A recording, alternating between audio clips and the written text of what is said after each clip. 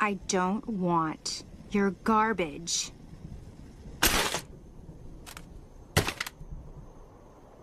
Yeah? What, were you trapped in a tape recorder too? Look, I get it, you know. You're confused. You can never go back to Homeworld. This place doesn't exactly feel like home yet. You're alone. No one could possibly know what that feels like. Oh wait, I do. We're the same, except you don't have to be alone.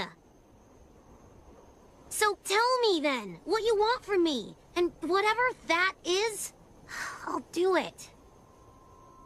I want you to leave! Okay,